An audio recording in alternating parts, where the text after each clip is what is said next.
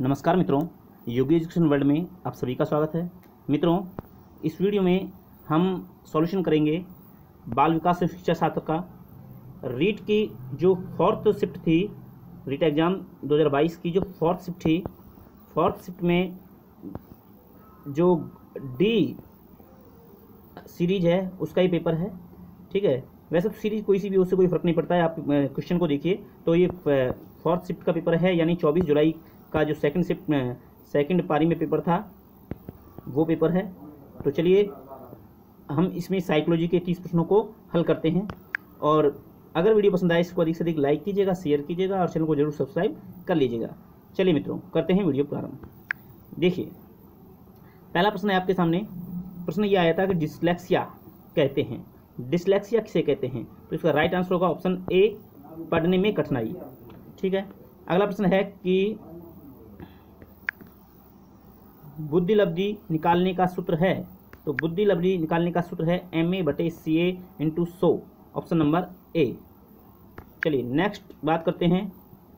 आत्मसातकरण है तो आत्मसातकरण का आंसर होगा वर्तमान स्कीमा का प्रयोग बाह्य जगत के विश्लेषण के लिए ऑप्शन नंबर ए चलिए नेक्स्ट बात करते हैं। प्रश्न नंबर चार, शिक्षा के तीन प्रमुख आधार हैं, शिक्षक, छात्र और पाठ्यक्रम।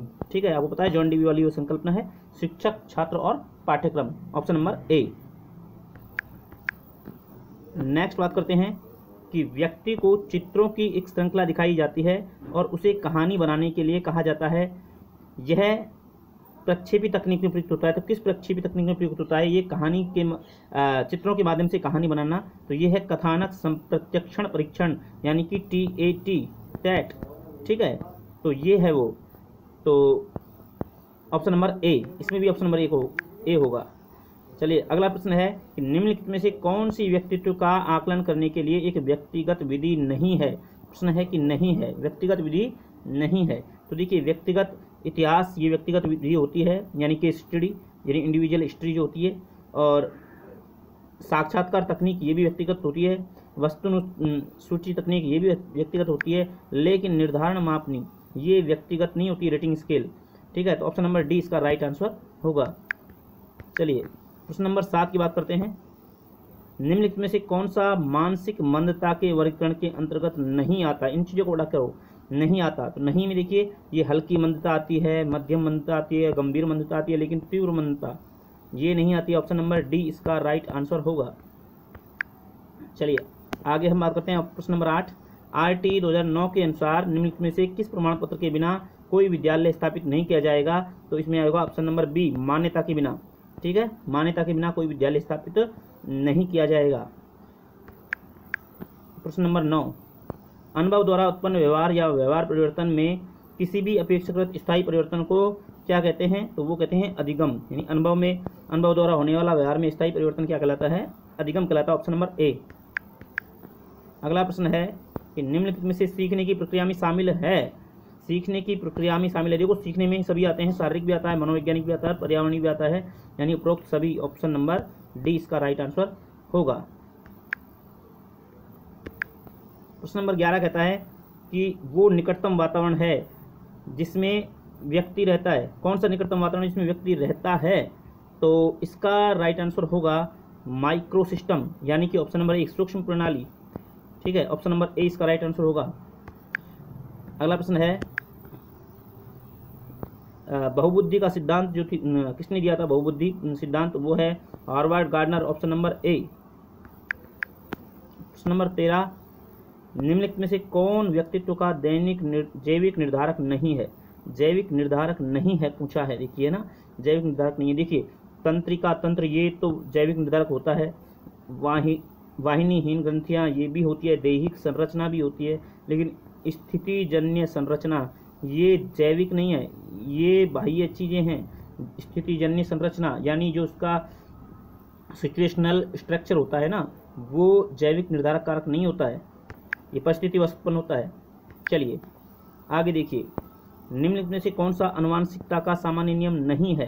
तो देखिए रूपांतरण होता है प्रतिगमन होता है, जैसे पैदा होता है लाइक बजैक्स लाइक ये भी होता है ना, लेकिन प्रगति नहीं होता है। ऑप्शन नंबर ए इसका राइट आंसर होगा। ऑप्शन नंबर ए चलिए नेक्स्ट बात करते हैं। आर टी दो हज़ार नौ के अनुसार प्रारंभिक शिक्षा का अर्थ है तो इसका अर्थ होगा पहली कक्षा से आठवीं कक्षा। आर टी दो हज़ार नौ में प्रारंभिक शिक्षा का मतलब क्या है? पहली से आठवीं क्लास ओके अनुमानसिकता तंत्र के अध्ययन के क्षेत्र में नवीन शोध किस दिशा की ओर अग्रसर हैं? तो देखिए, नवीन शोध किस दिशा की ओर अग्रसर हैं? तो इसमें देखते, देखने वाली बात होगी क्या मानते हैं, लेकिन मेरे को लगता है कि इसका जो राइट आंसर होगा, वो जानवरों का प्रायोगिक प्रजनन ये होना चाहिए। बाकी देखने वाली बात होगी क्या आंसर होता है? वैसे कोशिका विज्ञान ये तो एक प्राचीन अवधारणा है और जीवमिति जो बायोमेट्री है, या आप जानते गोल्टन की है तो ये भी प्राचीन अवधारणा है। तो ये तो नहीं लग रहे हैं दोनों। ऑप्शन सी इसका राइट आंसर हो सकता है। ठीक है? देखिए आर टी अधिनियम 2009 शिक्षकों के लिए प्रति सप्ताह कितने घंटे काम करने का निर्देश देता है? तो इसमें होगा पैंतालीस घंटे। कई बार ये प्रश्न पूछा जा चुका है ऑप्शन बी। अगला प्रश्न ये है कि शिक्षकों को मानसिक रूप से विक्षिप्त लोगों के निर्देश देते समय यह ध्यान रखना चाहिए कि वे परीक्षा उत्तीर्ण करने में सक्षम हैं। ये तो हो ही नहीं सकता। भाई, कोई मानसिक विकलांग है और उसके बारे में हम परीक्षा उत्तीर्ण करने के बारे में नहीं सोचेंगे। है ना? अच्छा प्रतिस्पर्धा वाली बात तो नहीं होगी, और ये भी इसमें गलत दोनों में प्रतिस्पर्धा आ रही है। तो ऑप्शन नंबर बी इसका राइट आंसर होगा, अधिक व्यावसायिक कौशल सीखें, यानी मानसिक जो रूप से विक्षिप्त लोग हैं, उनके लिए व्यावसायिक कौशल की बात यहाँ पर कही गई है। चलिए आगे बढ़ते हैं। पारितोषिक तथा दंड के माध्यम से सीखना है, यानी पारितोषिक और दंड के माध्यम से सीखना, कौन सा सीखना है? तो ये होगा क्रिया, प्रसूत, अनुबंधन, ठीक है? क्रिया प्रसूत अनुबंधन जो बी एफ़ स्किनर का था ये क्रिया प्रसूत अनुबंधन ये होगा। पारितोषिक और दंड के माध्यम से सीखना ऑप्शन नंबर सी इसका राइट आंसर होगा। अगला प्रश्न है, वैज्ञानिक अनुसंधान करने की दिशा में निम्नलिखित में से कौन सा एक कदम नहीं है? ठीक है, नहीं है बताना था। तो देखिए, एक समस्या की अवधारणा, समस्या तो होनी चाहिए, तभी तो अनुसंधान अनुसंधान होगा। अच्छा संशोधन, शोध, निष्कर्ष ये भी होते हैं अनुसंधान में। आधार, सामग्री एकत्र करने यानी कलेक्टिंग डाटा डाटा एकत्रित करना ये भी होता है। लेकिन क्या नहीं होता है ऑप्शन नंबर डी गतिशील दृष्टिकोण नहीं होता है, ठीक है? तो डी इसका राइट आंसर होगा। चलिए, आगे देखते हैं। परीक्षण का संदर्भ।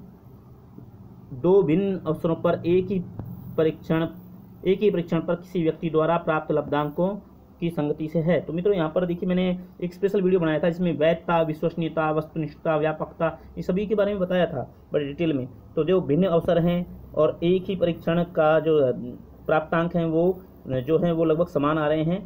तो लगभग नहीं मतलब समान आ रहे हैं। तो उस कंडीशन में क्या होता है? वो विश्वसनीय परीक्षण होता है। तो विश्वसनीयता होगा ऑप्शन नंबर ए ठीक है? अगला है, बच्चों को मुक्त और अनिवार्य शिक्षा का अधिकार।